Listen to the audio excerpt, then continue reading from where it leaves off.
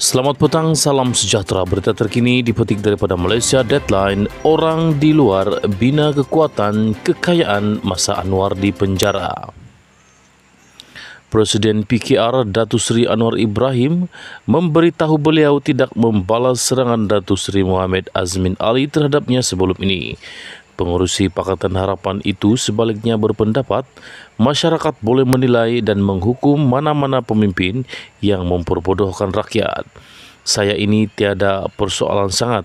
Kalau tengok kenyataan yang mana dia serang saya berulang kali, saya tak jawab pun. Sebab saya nak fikir lebih baik kita tumpu kepada rakyat. Sebab kita tak boleh perbodohkan rakyat, orang boleh nilai. Jadi biar rakyat yang hukum tapi bagi saya kembali kepada landasan katanya dipetik daripada wawancara eksekutif tiga halaman di Mingguan Malaysia hari ini. Beliau memberi reaksi sedemikian apabila ditanya pandangannya sama ada kecewa dengan Azmin.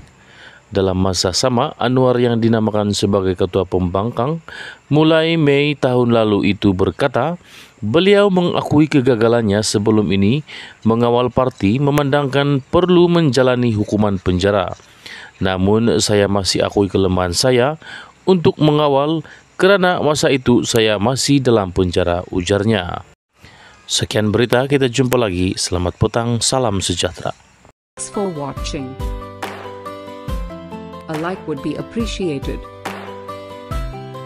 And don't forget to subscribe.